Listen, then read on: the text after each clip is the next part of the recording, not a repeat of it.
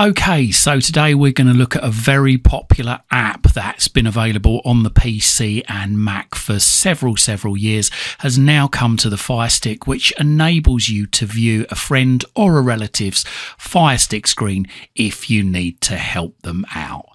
All the details coming up shortly.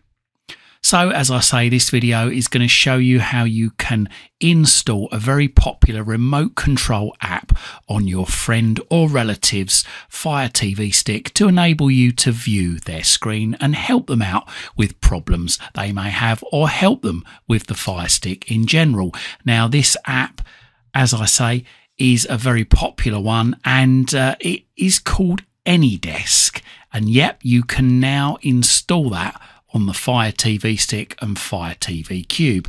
The only limitation is it can only be used to view. There is a plugin which should allow you to remotely control using your keyboard and mouse, but unfortunately it doesn't seem to work. The add-on doesn't seem to work. So let's just go back to the beginning. So what we need to do is we need to first of all ensure that we've got AnyDesk installed on our Fire TV stick or cube. So all we do is we just go back to the home screen and then press go across to find down to search middle button and then just start to type on our on-screen keyboard or say AnyDesk.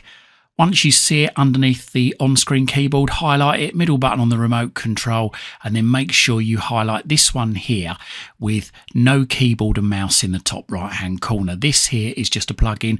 It's supposed to allow you to or your friend to use a keyboard and mouse to remotely control your Fire Stick or Cube, but it doesn't work. So we're just going to concentrate on this one here, the one without the keyboard and mouse in the top right hand corner. So highlight that middle button on the remote control and then middle button again to start downloading and installing. Now, I should say this needs to be installed on the Fire Stick that you want to remotely control. The person at the other end must have a PC or a Mac or a system that can run the AnyDesk client. So I've got a a Windows PC, as you can see up there in the top right hand corner of the screen. So I'm just going to open AnyDesk. And first of all, it gives us a privacy statement. So what I'm going to do is I'm just going to I'm just going to get rid of the laptop screen in the top right hand corner at the moment just so we can see the screen a little bit better. So okay, so we've got the privacy statement here. We at AnyDesk care about your privacy very seriously. Learn more about how we collect and process your data. So you can go across to the privacy policy there and have a look at it.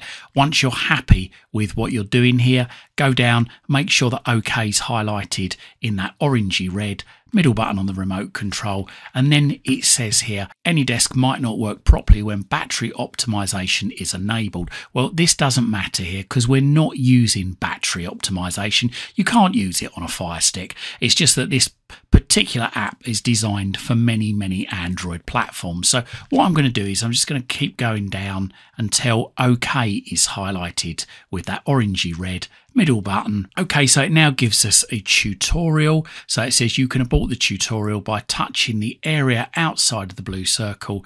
You can get detailed help or restart the tutorial anytime here in the menu. Touch the marked area to proceed. So I'm just going to keep pressing the middle button on the remote control just until we've gone through the tutorial. So keep going through. Quite a few of these options just do not apply to us here. We're just simply setting this up so that somebody can remotely control our Fire Stick, not the other way around. We don't want to remotely control anybody else's system from here. So let's just go back to our laptop and what we want to do is we just want to download the AnyDesk client. So I've just opened up a browser.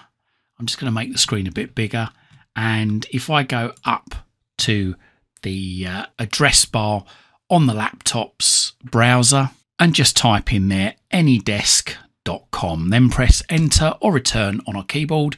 And then what we do is we just move our mouse over the red and white download now, left click once, and that should automatically start to download as you can see up there in the top right hand corner. Apologies about the picture quality here. So once it's downloaded, let's left click on open file and here it gives us our address, which is blurred out. Now, what we need to do is we need to get the address of the Fire Stick that we want to control. So I'm just going to move this screen just down to the bottom right hand corner. And again, that address is partially blurred out for security. But all I do is I just go up to enter remote address up there, click in there, and I type in the address that's just to the right of your address on the Fire Stick. So I'm just going to do that. Okay, so I've typed in that address on the laptop, press enter or return, and there we go. It's come up with a security warning on the laptop. So I just allow that. And then on the Fire Stick, I'm just going to make this screen a bit smaller here because on the Fire Stick, there you go, we've got a security warning up, up there telling they're telling the user another person would like to access your device. If you accept this person can do everything that you can do on your device, e.g. sending money, reading text messages and emails, etc. Not every supporter has good intentions. If you have any doubts, please deny this request and inform yourself in our help article. So let's just keep pressing the down button. You go, can go to more information there. If you know that the person that is trying to connect is a friend or a relative, then you can tick this box, I'm aware of the risks, and just go down to cancel. And once accept goes red, then you can go across to accept and press the middle button on the remote control. But do make sure this is your friend or relative, someone you know personally is logging in and not somebody has phoned you up and is doing this on the back of a phone call out of the blue.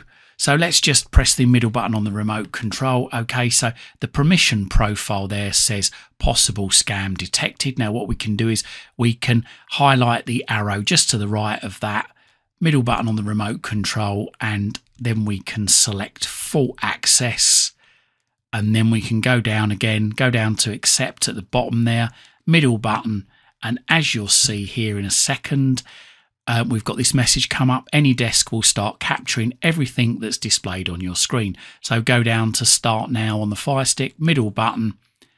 And then as you can see here, on my laptop in the bottom left-hand corner of the screen, that can see exactly now what is on the Fire Stick.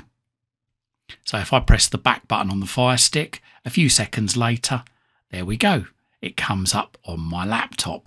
Now, unfortunately, on the laptop, like I say, you cannot remotely control anything on there. It is just literally a viewer. So it can be helpful if you've got a friend or a relative that needs help, needs a bit of guidance. You can tell them what to do. So once you've finished with this remote session, then what you need to do is you need to then go into so I'm just going to go up and across and into apps and then go into AnyDesk. And what we need to do is we just need to get across to the cross just up there on the right hand side. Takes a little bit of navigating with the with the Fire Stick remote. Middle button on the remote control. And there you go. As you can see, it now says session closed on the laptop and the other party has lost the connection. So what we really need to do now is come out of AnyDesk and then press the three horizontal lines on the remote control, go down to uninstall with AnyDesk highlighted, middle button on the remote control, down to uninstall, middle button again and uninstall any AnyDesk. Only have that installed really as and when you need it. So there you go. I hope this video helped and if it did, please consider hitting that thanks button and supporting this channel. Or if you're in the market for a new VPN, a Fire Stick, Fire Stick accessories or a Fire TV Cube or want to just have a look through my Amazon store, then have a look in the description of this video. There's loads of links down there for you. Donating, buying or subscribing through these links really does help support this channel. It helps me to dedicate more time into researching and bringing you these videos. And also, whilst you're at my YouTube channel, why not stick around? I've got thousands of other videos for you right here, right now, covering all sorts of subjects. Hopefully, whilst you're here, you're going to find something to educate you, entertain you, amuse you, and maybe even save you some time and money.